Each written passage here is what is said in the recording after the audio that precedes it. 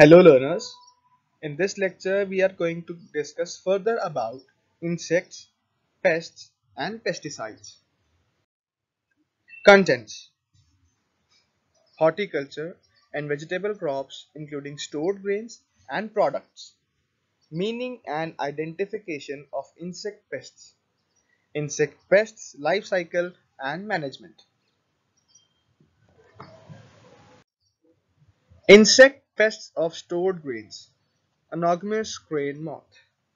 This insect is a primary stored grain pest because its immature caterpillar stages develop entirely within a grain kernel. While AGM can attack several grains, it is most often associated with ear corn and is rare in shell corn.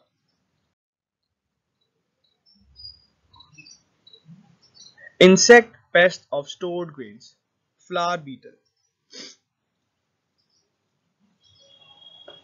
Flour beetles are secondary pests, which means they feed on dust, fines, and dockage.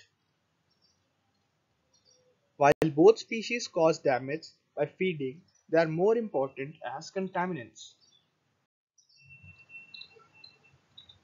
Insect pests Insect pests cause significant damage to agriculture products intended for human foods and animal feed.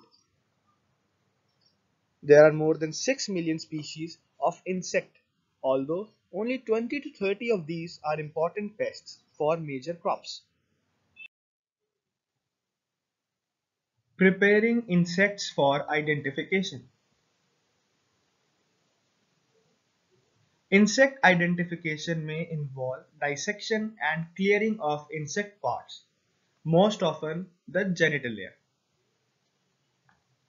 Unless genitalia of freshly killed insects are being dissected, insects needed to be softened by placing in boiling water for 1 to 2 minutes. Insect pests of stored grain life cycle. The length of this life cycle depends on temperature with completion in 30 days at 86 degree Fahrenheit and 40 days at 77 degree Fahrenheit.